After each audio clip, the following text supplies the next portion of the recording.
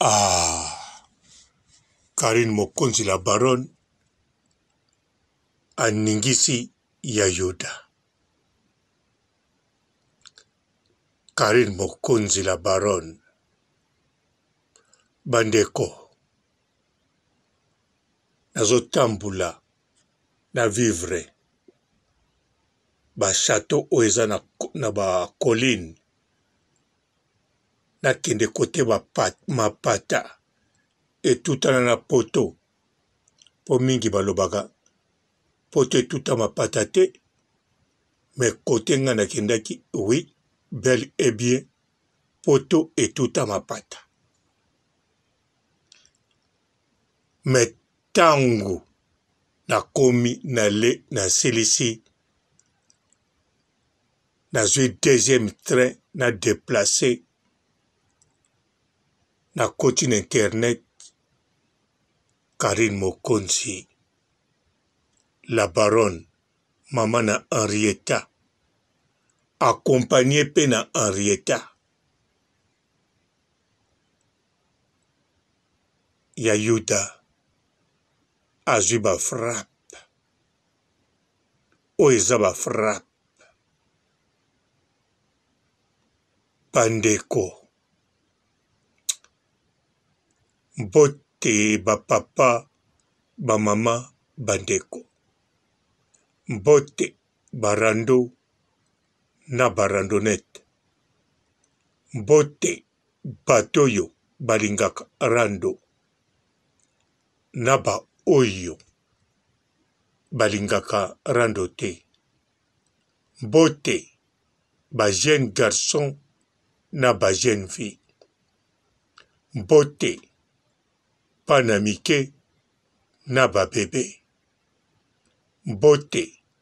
ba Sainte Anuarite, Sainte Therèse, Sainte Ingrid Kabongo. Bandeko ba bolingo, nakanisa bino moko bomoni chez Mokonzi ndenge etondaki 1100 personnes na ligne bazo vivre ba frappe en direct ba frappe en live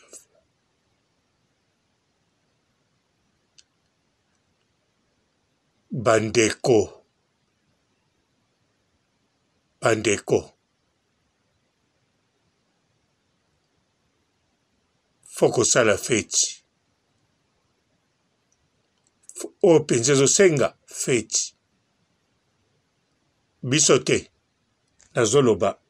na ya Yuda, mpo modèle bapupoli ye en tout cas akolia bien. Beauté ekobakisama lisusu.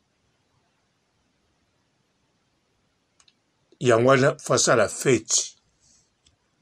bandeko mingi bazonyokwama mpo balia kitoko premièrement faut amela vitamine mpo ako kolia okozala no na mbongo oza na biloko wana me mpo olia apeti eza te me ya yuda alobaki yango bien akoma kolia kitoko bamafinga wana elesaki kitoko kanisa sikoyo bamafinga oseleka nango kala kopupula oseleka kala ti lelo elesaka ya yuda kitoko bongo kopupula oyo la baronne karine mokonzi apupoli sur et certain ya yuda akolia mpenza kitoko akolia na bagute akolia penza complet abandi na souper ake na premier plat akoti na deuxième plat na mopanzi mai 20 pembeni ntango akosilisa akoti na dessert ya flamme ah, akolia kitoko Beaute oh beaute kutu toloba te ekobakisama beaute ekobakisama po modèle oyo la baronne apupoli ah somo somo Henrietta pe na mopanzi azo compagnie mama. henrieta na mopanzi ko azopupula ye mpe me tozoyoka te soki mama na kati ye ya leli soki batikeli ye apupoli soki mama pupoli ye bakisi matabisi donc oyo ezosenga kaka feti ya Yuda akosala feti. Asengaki totindika ye tosunga ye. La baronne mpe aye kosunga ye kaka kote kolia. Bon, mpo la baronne ayebi, boyebi la baronne na Congo ya patisa lamba kitoko, ye moko alamba kitoko, Miriam Apula alambaka kitoko mais la baronne akoma komela vitamine ayebi apeti ezalaka nécessaire alobi te ya yoda ngai na bamoma oyo osengi aide na kosunga yo osenga nga aide oyebana nadutaki me natalaki te ansoluzolo yaka na ye natie yo oyebana Oyebaki kolobela ba kabelo te nasali tu nalobeli nalakisi okomolobela lelo oyo kombo evanda yo po vanda ekitaki moke po tokabwanaki bon moke kutu te mingi mpo bakabwanaki. Alors la baronne tango ayoki aide oyo yango aye nayebi te mpo ba ida la baronne moyen nayeba eza te mpo a promettre biso azali pendant une semaine pendant une semaine donc nga ndenge naza boye nga pe une semaine 48 heures 48 heures na internet chez mokonzi 48 heures bandeko kopupula oyo labaron azopupula ezali demande recommande mpe ezali eloko moko ezosala ya yuda bien soki esalaki ye mabe nga papa robo moto ya liboso nalingai naloba la baronne dolokolo la baronne epinjeru la baronne lekela ngai moto ya liboso. Me lokola nayebi mpe nayokaki a haute voix ya Yuda ye moko alobi kopupula oyo bapupula ye atikala oyo azalaka te akoma kolia kitoko totala ye bote ebakisama Nga moko mpe natali bote bakisami. Nga moko mpe natali sante ne ezomonana ke aliaka bien. Nakamwe nalobi ah,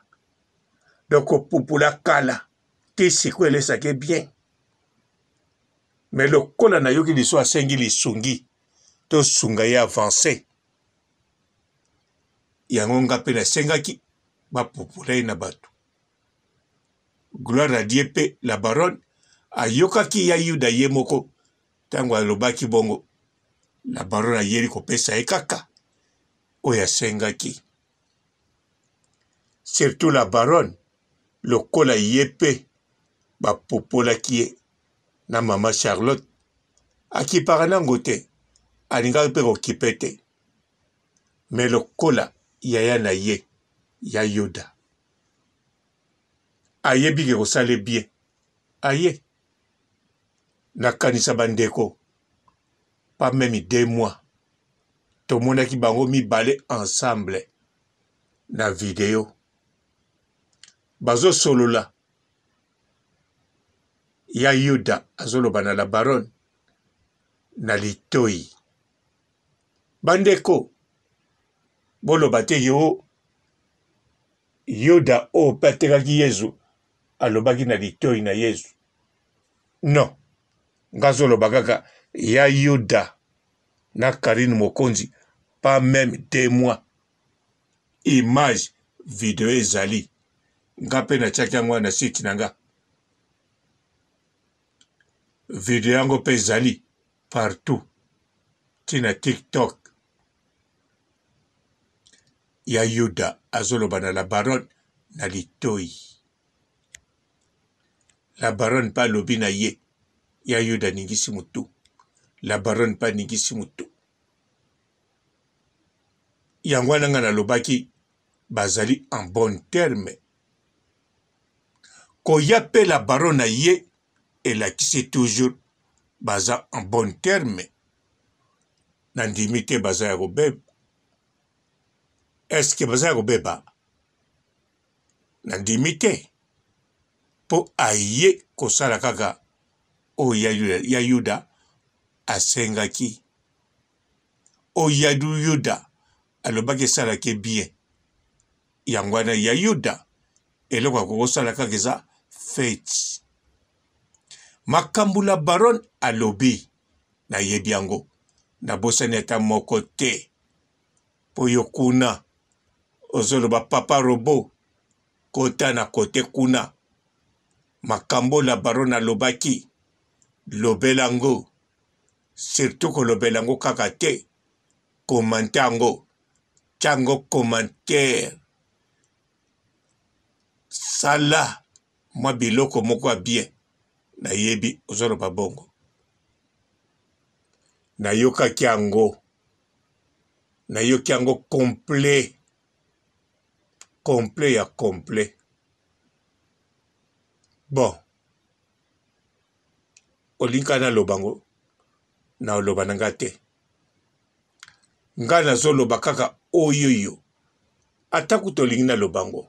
yo moto olinga naloba yango la baronne aza nano ya une semaine une semaine omoni yango moke une semaine kaka lelo apamba bomoni ndenge bato bakoma koya na retard me baye ntango la baronne akati live mbala moko 5000 personnes bakotaki deja 5000 mpo ntango akati pas meme 2 minutes ekomi wana 4000 et quelques personnes alors soki première jour bazalaki ebele bongo sikoyo bayoki une semaine akoya mpo na ya yuda nga papa robo na osani makambo oyo nayoki nayoki nakoloba te nga nazolanda nde la baronne une semaine mpe nazotala evolution ya ya yuda ndenge akolia fufu na kotala soki lelo akolia fufu to akolia makemba nandimi te ke ya yuda akokolia te apeti kokima ndenge la barone apopoli ye boye mpo soki apeti ekimi akolia susu nini abosana mpe kosala parakuka oyo abandela commerce bon ye alingaka te baloba yango commerce mombongo oyo abandela mombongo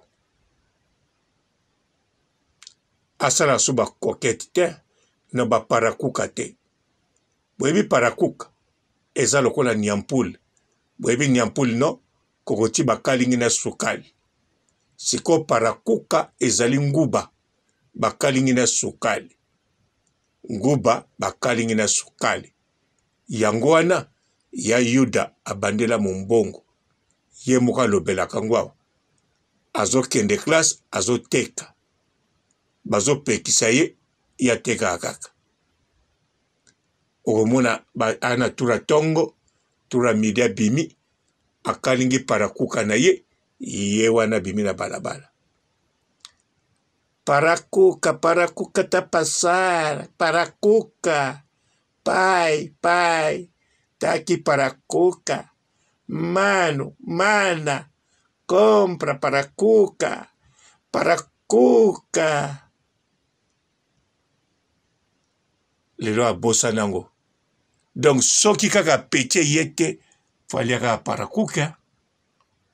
mpo parakuka tozolela soko lizoli yango na sukali wana ezala bien me bon ye nandimi ta okata na peti au contraire azolia tokotala après une semaine fo amata kilo faut tombatisa ye kilo totala so akomi na azopese combien de toutes les façons akomataka kilo toyeba kilo soki emati to ekiti bote nde tokomona tokomona akosala video akolakisa biso bitekuteku ya kabelo te turo bitekuteku mpenza baliaka mpo apeti oyo aza nango falakisa biso kaka bitekoteko mpo la baronne modele apupoli ah. donc awa eza neti eza neti ah, neti bakombaka ya kati Edingman alingi abinisa Puma Noir. Puma Noir ameli yango. Sikoyo tozotala soki ya Yuda akoka mpenza ndenge alobaki apeti ekoya. Mpo modele la barone apupoli ah, nandimi te ah. ata popoli milliardaire ya congo modele ya boye nandimi te milliardaire wana kolia mais bon ya yuda ye alobaki akoma kolia tokos atikala oyo azala te bon nga nazondima maloba ya yuda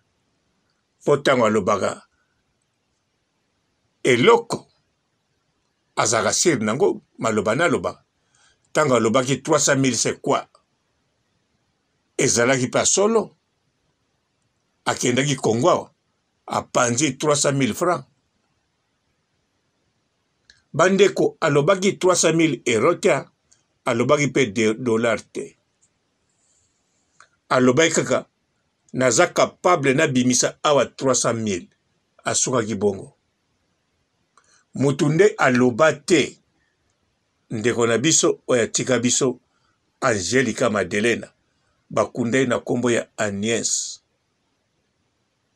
ye aloba te matanga 170 mille dollars tomona yango mbala moko toyebi yaki dollars ya yuda loba akobimisa 300.000 atangi yango mpe awa akosa mpe te ake na kin apanza 300.000 francs alors ndenge mpe alobi akoma kolia kitoko ata baye kopupula ye tokotala oyo ya la baronne orie ebanda ata na janvier janvier kutu te mpo janvier soso apopoli ekozala somo efale banda na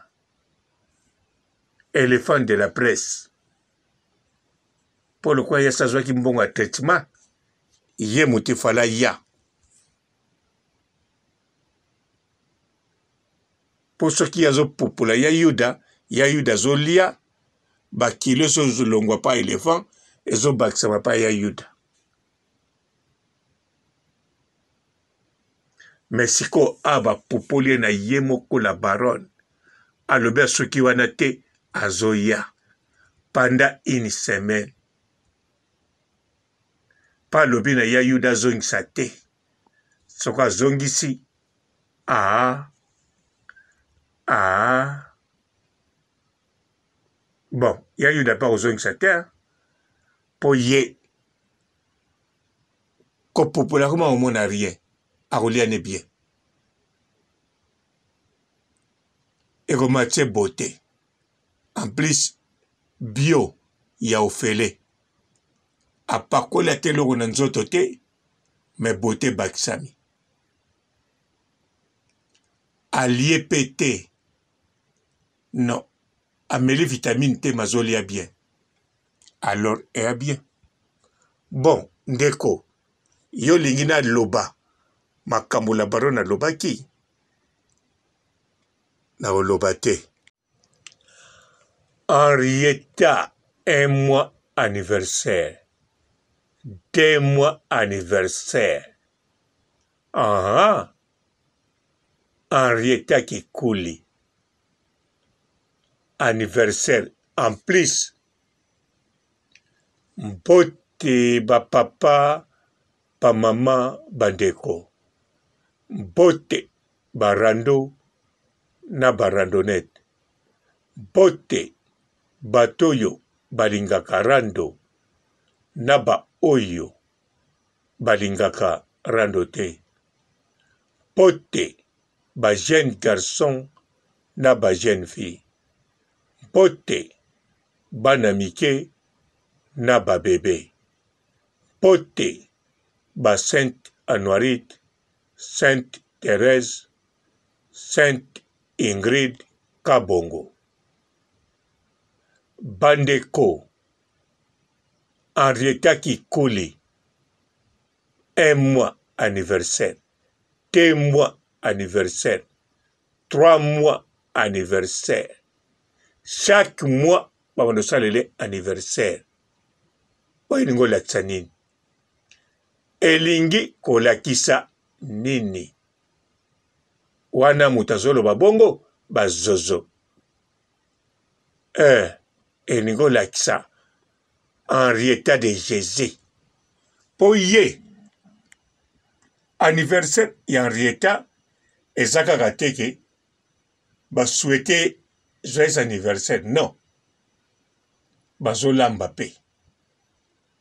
bale pe ba celebrer ba fetes meme 15 minutes meme 30 minutes meme deux heures de temps mais bazo celebrer yango e eh, mama ee eh.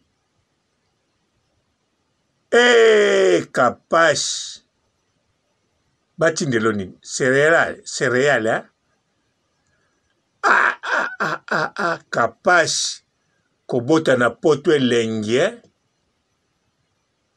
ah, kapash kapashula ngoyao kobota na afrike ah, bon ezaka mapamboli ya nzambe eh, kapash gloire a dieu kutu yozobota yosali te lokola lokola nani carmen odia akamati boyebi kaka eloko asalaki mwe naloba yango eza te abangi kobota na congo alingi abota na poto poto mpe elingi te abota bandeko Henrietta chaque mois anniversaire alors aza na droit Henrietta chaque mois anniversaire aza na droit mpo mama na ye la baronne chaque mois aza kokanisa Henrietta ntango akobotama chaque mois aza kosepela na zemi na ye yango wana chaque mois henrietta mpe fo asalaka anniversaire na ye surtout zemi yango désiré nkombo na yango désiré te zemi oyo balingaki na motema moko mpe mwana abotami na poto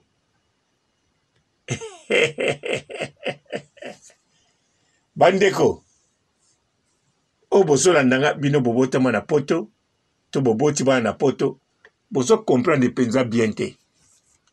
me soki botuni carmen odia botuni glore olangi bakoyebisa yo ndenge baza kolota ngo bolanda bien carmen odia alobaki awati zemi wana elongwe na 7 mois botala sikoyo bien 7 mois ekoki akoti hopital zemi elongwe asali demo na hopital abimi elakisi ntango abimi na hopital ekokisi 9 mois banda zemi ekotaki na ntango elongwe ete na ntango abimi 9 mois sikoyo botala baemission na ye tango aza ko loba ke ye faut abota kaka na poto wana azalaki na zemi bozo mona donc à partir azwaki zema un mois asalaka ba démarche ya poto te soki aza kosala ba démarche ya nini bokanisa bino moko mwana akomi na deux mois asalaka ba démarche ya poto te aza kosala ba démarche ya nini mwana akomi na trois mois asalaka ba démarche ya poto te maza kosala démarche ya nini bokanisa bino moko sikoyo soki henrietta chaque mois bazosalele anniversaire bino bokomona yango e eh. oyo eza kisefe to kiduka non non karine mokonzi aboti na poto Henrietta abotami na poto, mwana abotami mpe na nzoto kolongono, mwana babundisi mwana ntango nana abotami te malesi bamama na bapapa na bafamille mwana ntango nana abotami te maza na rando mwana ntango nanu kutu bakati motolo na ye te me bazosenga ye motolo na ye bongo mwana bongo chaque mois anniversaire eh mama na ye na papa ne bazwa ida bien ti balamuka kaka te basuete joyeux anniversaire henrietta mais non basali mpenza damage henrietta azotala badamage azolia te mazoyeba chaque soki mikolo eleki boye soki batie boye azomesana nango amoni yango deux fois troisième fois ntango akomona akoyebake esalamaka mpo na ye katemfu akomona donc moto akoloba kaka basta ekoki eza ye moko henrietta oui mpo henrietta ntango akotambola abandi oloba akoloba stop soki basali ya inane na ye alobi stop ya ba un mois inane na un mois yango te henrietta moto akoloba bien sur bakotuna ye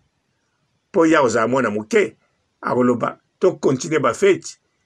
surtout loko ezoleka kitoko eza te bafeti oyo mwana azoyeba teke ya ye mwana ayebi kaka makelele mo bamikolo bazosote lokola batsoti balikorodo tsa tsa tsa tsa tsa tsa tsa na makelele matoi na ezosala mpasi mwana ntango akokola akomi na 12 ans batieli ye kasete babi tala anniversaire na yo mwana susu moki abi ce n'est pas vrai je suis où naza wapi waye baninga na nga mais oyo henrieta bana bazoya baye bazoloba mpe en retard baza wana sikoyo baanniversaire kaka ya un mois un mois chaque mois bongo ya une année bana baoya ekozala te ke bon nayebi na ndenge ekozala te tokotalaka me oyo ya un mois ezoleka kitoko ezolelisa bachroniqueuse bachroniqueur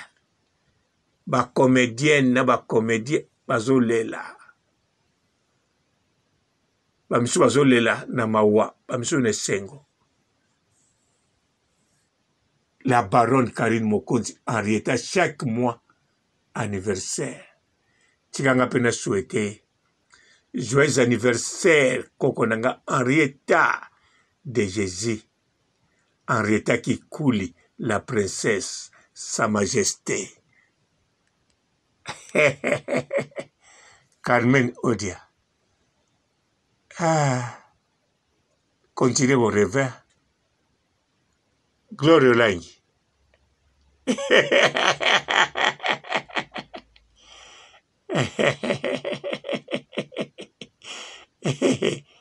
nazoseka te nazoseka nde yo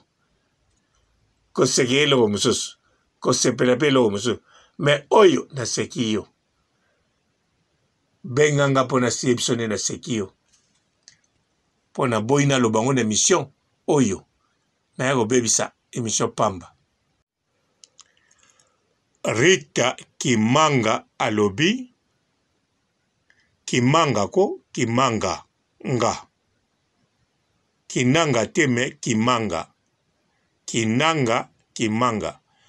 we Rita Kimanga kipaipai te Kimanga alobi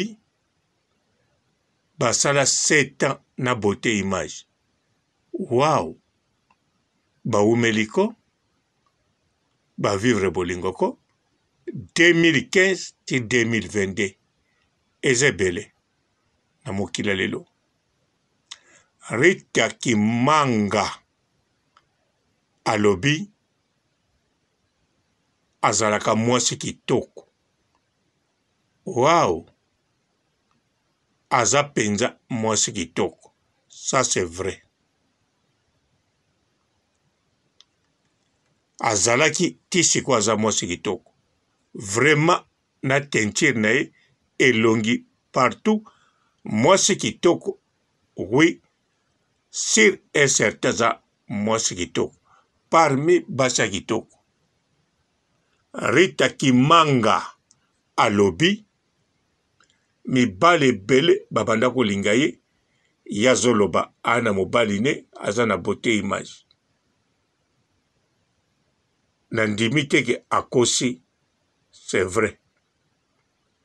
nga mpe nabanda kolinga ye me nalobaki ne te natiaki ye mpe litoi te nalingaki nalinga ye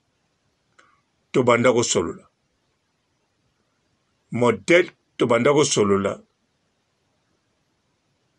naza kosentir aza na motu donc akosi pe te wow rita kimanga alobaki ye vraiment soki aza na motu alingaka makasi kaka motu wana Bon mabe moko Rita Kimanga asali mabe ezali ezali bandeko mpote bapapa bamama bandeko mpote barando na barandonete mpote Bato oyo balingaka rando na baoyo balingaka rando te. Mpo te ba jeunes garçons na ba jeunes filles, mpo te bana mike na ba bebe, mpo te ba Sainte Anuarite, Sainte Therèse, Sainte Ingrid Kabongo, ndeko na biso Rita erreur faute asali ake solola na Sara Tola ex moto na succès wana nde abebisi asololi na ye Sara asalela ngo emission na analyse wana abebisi Po ye na Sarah bakokani te baza meme pas butu na moyi bazali Jupter na Mars baza different ya makasi baza na caractère moko te baza na vie ya couple moko te baza na le passe pe ekokana ata ndambu te likolo na yango ndenge aye koloba na sara sara ndenge aza wana aza na ye pour coquette mabombi sekele rita efala ya na chez mokonzi soki amonaki la baronne karine mokonzi akokipa yango te toza na ba chroniqueuse chroniqueur baza wana tozana la plus intelligente nadine mukendi aza na kin akosalele bakosolola kitoko a partir ya telefone toza na linda autorité linda riche kombo akomi nango mikolo na angola bakosolola kitoko pose pe makambu ne koleka na internet kitoko sans arrière pensee toza na mboka revino na poto na etats unis toza na president tony guere na angleterre kaka oyo natangeli ye deja soki abengaki alobi na bango baye kosala nango emission balingaki basala yango bien balingaki bayeba modèle ya komema emission wana to modèle balingaki basolola na Rita mais Rita akesolola na Sarah Tola ex moto na succès sara ye azowelela azwa kaka matière na motema azosepela ndenge rita azwi bongo ku atali botete ayebi mpe ke rita azalaka na poto ayebi mpe rita ye mpe apusaka voiture me na poto ayebaki pe Rita abota bana baza mikolo mais na telephone akosi kokamwa oh mwana na suka azalaki na 15 ans eh eh eh eh oboteli bote image kaka po na bolingo eh Sarah nalingaki kutu nabakisa mwana mosusu soki bote asengaki nga bana mibale mpo na amour rita makambo wana olinga koloba yango jamais surtout na sara tola okoloba yango mosala nini mpo ndenge botaki ebala coquete ntango azowangana yo ezokitisa yo te ezomatisa yo mpe te ma ezokitisa yo te Oyo pe olobe liboso ndenge olobi makambo ya bolingo na bino ndenge olinga ye ndenge osepelaki na ye na ndenge bosololaki na ndenge okoma komona ke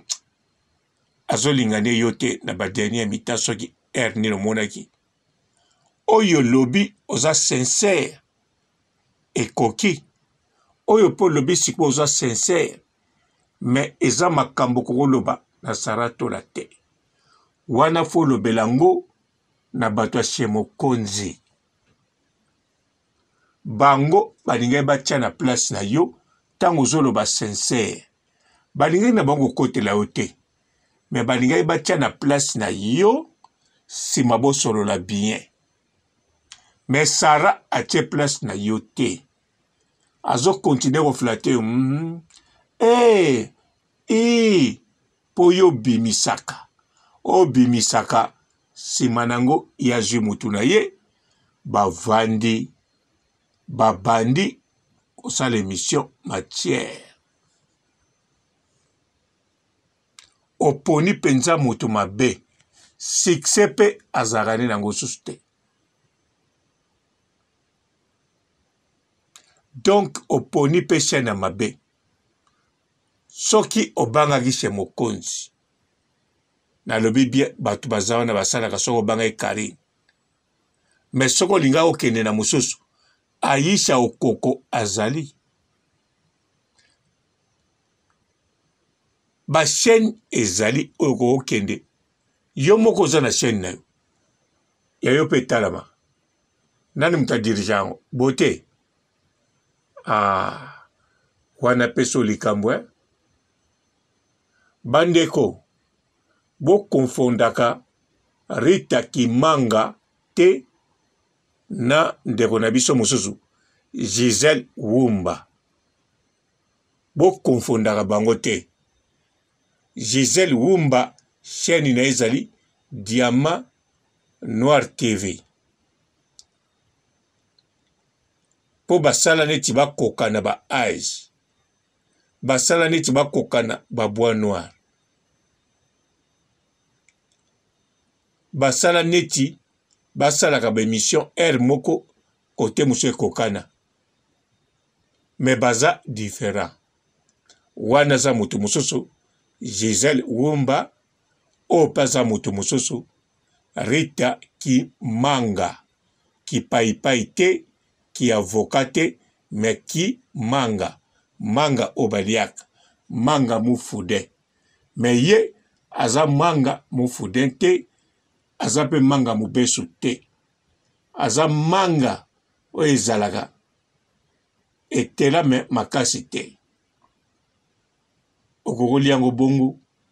okokolia yango na pilipili ya poussière okokolia yango mpe na mungwa ye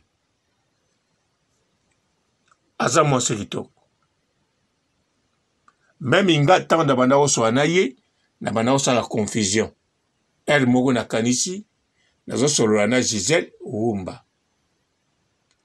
ere moko nayebi ka eza ye tosolola na 2018 mpe tosolola susu ou bien 19 tosolola taosolola bien donc asala erreur mais bon eloko ya bien aza sincère mais rita ndeko na nga 7 ans bo vivre na beauté image na modèle ya bolingo na bino en tout cas eza mpe kaka bien bo vivre mwa bolingo 7 ans ya moke te mpo bamabalo ezobala lelo oyo ata boza couple moko ya bien ata boza bachrétien so bokokisi 7 ans fo kosala feti hein. mpo mokili ndenge ekomi na vitese makambo etambolaka na vitese kokabwana mpe ekomi na vitese hein. donc so okokisi 7 ans feti bon mingi akolobela nango te hein. bonne chance hein. Rita kimanga kipaipai te kilipela te mais kimanga manga ya kotela te ya mobesu te manga oyo etela bien te en plus ya monene Bonjour fidèle internaute de www.elengiakomba TV. Bonjour, bonsoir, balandi nyonso ya elengi ya komba. Hein? Congolaise TV. Bote bele bele bele par tout dans le monde partout où vous êtes partout bozolanda elengi ya combat tv vraiment bonjour bonsoir na babone bafan nyonso ya elengi ya combat congolais tv bonjour à mon boss wana napesa yango vraiment ya mopanzi bonjour à mon boss jp kiama je sali mon boss balobi boss de boss babi jp kiama